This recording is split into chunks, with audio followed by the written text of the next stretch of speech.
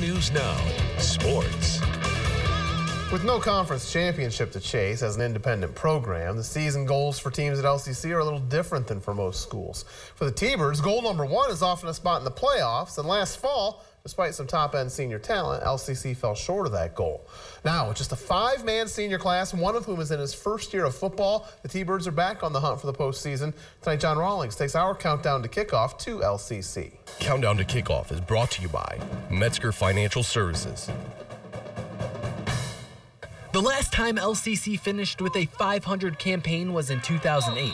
Seven years later, the T-Birds find themselves coming off a similar season. Five and five is your is your worst year you have in a in a 10, 12 year stretch. I think your program's in pretty good shape. You know, five and five is, you know, it's obviously not where we wanted to be. We felt like you know we were make a couple plays here and there. We easily could have been seven and three. Before last year, LCC rattled off six consecutive playoff appearances, and the T-Birds would like to soar back into the postseason this year. Right when it ended last year and we knew we weren't going to make the playoffs, it hurt. Even though that was my first year playing varsity, I knew the legacy before me. I mean, I was a ball boy for five years of my life. Then I was watching every team just go deep into the playoffs. So I knew how much fun they had and I knew how much it meant to them. So I really wanted to bring that into our class. Previous teams, they had great athletes. You can look back in the years. They went deep in the playoffs every year. It was just something LCC did. So five and five last year, missing the playoffs. We just didn't get it done. But hopefully this year we can come out with a good record and make a run to the playoffs, see what happens. Third year head coach Scott Palte continued the tradition of Week 11 play at LCC in year one, but changed the program's traditional offense from a wing T to a spread.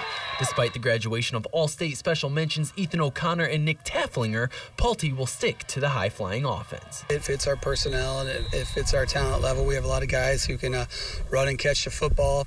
You know, we're not tremendously big up front, so you know we're not going to line up and uh, knock people around in a traditional uh, eye eye offense. So you know, the spread fits us. Our kids enjoy it, and uh, you know we uh, we've had a lot of fun with it, and hopefully we continue to get better. LCC has a veteran playbook, but it's a young team that will be learning Palte's offense. Five seniors will lead the team with underclassmen logging quality minutes. Small senior class, it's really tough because you really got to count on your juniors and your sophomores to really step up and play. I mean, we even have a few freshmen that are coming out and playing varsity, so you really have to get them into the game and really into a varsity mode because they've never experienced it before. So to only have a few guys that have that varsity experience, it's hurt, it hurts, but we'll be able to push through it. If history repeats itself, this year's team will bounce back and go on a playoff streak of their own, much like they did after the 5 and 5 season in 2008. When your program makes it, you know, quite a few years or a stretch of time, you know, there's a little expectation amongst your kids. We'd really like to restart that legacy of getting to the playoffs. You know, people before us really